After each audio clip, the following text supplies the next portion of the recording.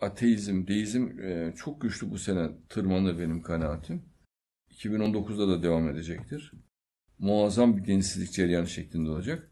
Ama arkasından insanlara Allah öyle bir delil yığına ve öyle sağanak meydana getirecek ki insanlar ateist olduklarına, deist olduğuna binlerce kere pişman olacaklar.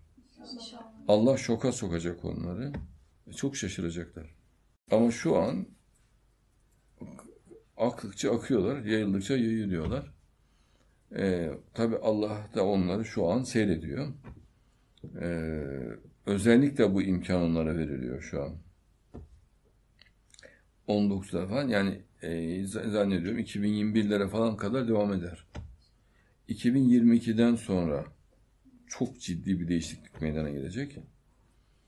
Özellikle e, kutsal sandığın bulunuşu dünyayı akıl almaz sallayacak.